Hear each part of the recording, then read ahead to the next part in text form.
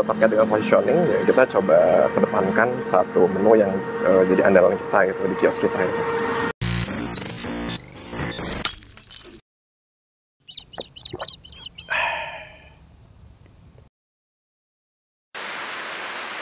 Halo sobat-sobat semua, lagi dengan saya Lutfi di channel Kopi video kali ini uh, ceritanya saya pengen ke kios ya atau ke kedai saya gitu kan. Uh, seperti biasa, kalau ada bahan-bahan yang habis, biasanya kita uh, sediain lagi gitu kan dari rumah kita bikin kayak kopi espresso misalkan. Itu mesti di stok gitu kan menggunakan espresso kita bikin aja di botol uh, setengah liter atau mungkin botol kale gitu kan. Atau mungkin bahan-bahan lainnya untuk makanan dan minuman kita stok lagi ke kedai kita gitu ya. Sekarang uh, ceritanya saya pengen nunjukin ya uh, kondisi terkini dari kedai saya gitu kan uh, setelah sebelumnya uh, sebenarnya di kedai itu kan ada beberapa brand ya termasuk brand punya istri saya juga gitu saya juga di situ kan uh, sebagai owner juga dari kafein gitu kan cuma sekarang kita uh, mulai uh, apa namanya uh, membuat sebuah langkah gitu membuat sebuah langkah untuk uh, bikin satu brand yang istilahnya menaungi dari brand-brand yang ada sekarang gitu. Jadi sebenarnya brandnya itu uh, cukup satu nama aja, yaitu Coffee and Stick. Nah, di dalamnya ada beberapa menu-menu atau produk dari beberapa brand kita gitu. Jadi biar nggak apa saling uh, apa namanya saling saling apa namanya ya istilahnya saling menonjolkan diri masing-masing gitu. Tapi kita cukup satu brand aja, tapi udah uh, mencakup beberapa menu yang emang kita sediain buat konsumen gitu ya dari beberapa brand tadi kita istilahnya kita lebur gitu kan uh, menjadi satu brand aja Coffee and Stick namanya dengan menu-menu yang masih uh, bisa bilang sama sih dengan brand-brand masing-masing itu. Lebih memudahkan aja ya untuk uh, apa namanya biar nggak uh, kesannya rame gitu. cukup satu brand aja Coffee and Stick ya. Seperti apa? Kita lihat yuk. Ini shop beberapa bahan ya yang saya bawa gitu dari rumah. Langsung menuju kios. Sebenarnya nggak begitu jauh sih lokasinya ini kan di Jalan Veteran ya daerah Kadujaya Curug Kabupaten Tangerang gitu. Jadi saya memang biasa untuk pakai motor ya untuk apa namanya sedia stok untuk kebutuhan di kios yang udah kita siapin di rumah terus kita tinggal angkut aja ke kios gitu kan. Oke seperti ini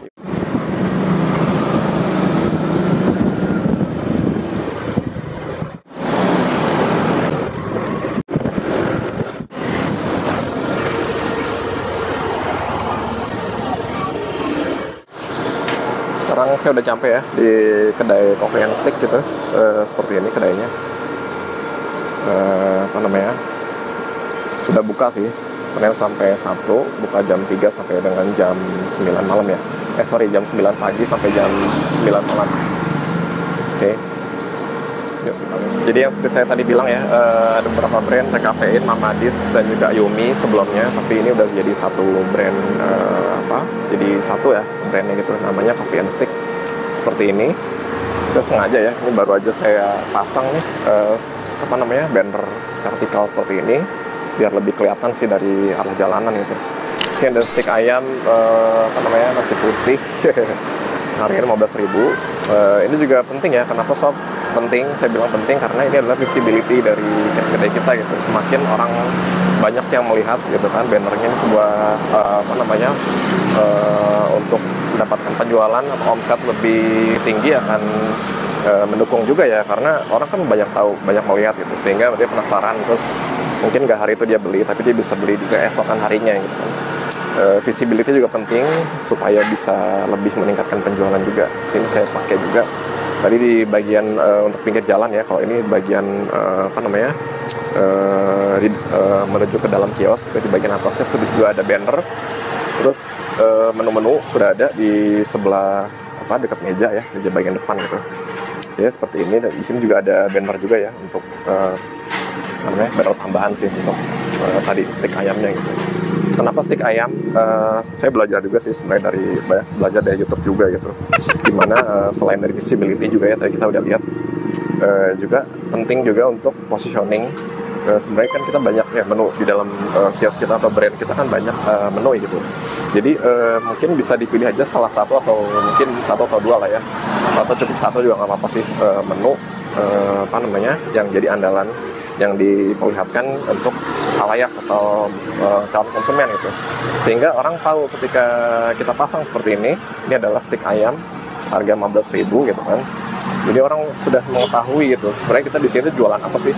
Jualannya adalah jualan stick ayam. Tapi sebenarnya uh, di dalamnya juga banyak beberapa menu lainnya yang bisa mereka coba gitu. Tapi yang kita kedepankan adalah satu menu aja yang jadi andalan supaya mem, uh, apa namanya lebih menarik minat perhatian mereka juga. Terus ya kalau emang dia mau beli menu yang lainnya silahkan aja. Kita ada beberapa menu lainnya juga yang bisa kita pilih gitu. Tapi uh, terkait dengan positioning ya kita coba kedepankan satu menu yang uh, jadi andalan kita gitu di kios kita gitu. seperti itu. Biar apa lebih uh, nyantol ya di benak konsumen itu. Uh, terkait kalau mereka mau beli stick berarti tempatnya adalah di sini gitu itu lebih ke apa menanamkan uh, apa namanya di benak mereka supaya brand kita atau menu andalan kita tuh uh, benar-benar diingat oleh mereka gitu seperti itu. Oke okay, uh, di sini langsung aja ya. Sebentar saya mau kasih dulu. Sambil ada bahan yang tadi saya udah uh, bawa. Few moments later. jadi ini kiosnya uh, sebenarnya di sini tuh kan udah berjalan dua atau tiga bulan ya. Uh, perkembangannya ya sobat bisa lihat sendiri ya dari beberapa video yang sebelumnya saya posting gitu kan. Uh, udah saya coba dandanin juga. Eh, di sini ada hiasan-hiasan segala macam, ada lampu filamen juga. Gitu. Uh, seperti ini. Sebenarnya sih konsepnya sebenarnya kayak uh, cafe ya, cuma ya kita menyediakan berbagai aneka makanan minuman juga gitu dari mulai makanan uh, stick ayam gitu kan. Sekarang uh, belakangan kita pakai menu dengan nasi ya. Kenapa dengan nasi? Karena uh, ini kan bagian uh, kita melihat pasar ya. Permintaan kayak lumayan tinggi gitu untuk penyediaan nasi. Jadi kita juga pakai juga stick ayam plus nasi gitu. Mudah-mudahan sih lebih meningkatkan penjualan juga ya. Gitu. Selain makanan juga macam-macam sih. Kalau kayak kroffel, dimsum, tawar panggang itu juga masih gitu tapi juga ada menu-menu lainnya kayak kopi, teh dan kita punya special series ya. Ada kayak berbagai cotton candy seperti itu. Jadi sebenarnya konsepnya uh, mirip-mirip cafe lah gitu ya. Gitu. Kita juga sediain juga ya bangku walaupun masih sederhana banget. Sebenarnya sih ke ke depannya sih maunya di upgrade ya uh, lebih proper lagi gitu untuk meja dan kursinya gitu. Sini ada bangku-bangku untuk duduk.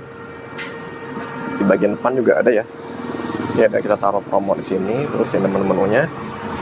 Terus uh, apa lagi ya? Uh, ini bangku nih uh, kursi dan bangku ya bisa buat duduk-duduk lah untuk sambil santai ngobrol sambil ngopi bareng temen itu atau mungkin bareng bareng saya pakai gitu. Bareng keluarga maksudnya. Kursi juga ada ya. Ada sebenarnya ini ini tuh uh, apa ya tong ya? Cuma emang dia bahannya cukup tebal dan emang dijual juga di marketplace. Satu setnya ada satu bangku dan eh sorry satu meja dan dua bangku ya. Itu bisa buat duduk-duduk bisa buat sambil ngobrol juga bisa. Juga ada meja. Masih sederhana banget sih seperti ini untuk tampilannya. Oke. Ini ada di Jalan Veteran uh, Kadu Jaya Kecamatan Curug Kabupaten Tangerang um, sobat yang mungkin ada di daerah sini gitu atau deket-deket sini bisa mampir aja kalau mau nyobain kopi gitu. Atau kalau sobat penasaran ya bisa lah mampir ke sini untuk uh, ngicip ya atau cobain dari menu-menu andalan kita gitu. Oke okay, uh, dipakai hiasan-hiasan segala macam ada pernak-pernik warna-warni gitu. Terus apa lagi ya? Uh, seperti inilah untuk settingannya gitu. Oke okay. Gitu. Jadi ya mudah-mudahan aja dengan apa yang udah kita usahain ya. Ini udah sebenarnya sih masih ada yang perlu saya coba upgrade ya kayak tadi tuh. Ada meja bangku terus uh, apa namanya?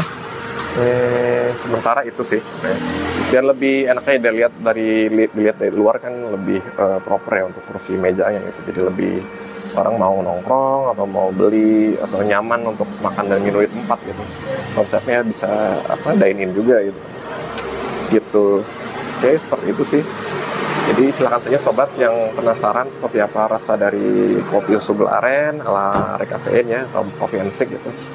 Uh, bisa datang aja kemari Jalan Veteran Kadu Jaya Kecamatan Cur Kabupaten Tangerang. Um, kita buka dari hari Senin sampai hari Sabtu ya jam 3, eh jam 9 pagi sampai dengan jam 9 malam. Oke, seperti itu. Eh, terima kasih eh, kepada sobat semua yang telah menyaksikan video ini. Saksikan terus channel Kopi Lunak, eh, like, comment, dan subscribe, dan nyalakan tombol notifikasinya supaya sobat bisa eh, mendapatkan pemberitahuan kalau ada video terbaru di channel ini. Sekian saja dan eh, sampai jumpa di video berikutnya.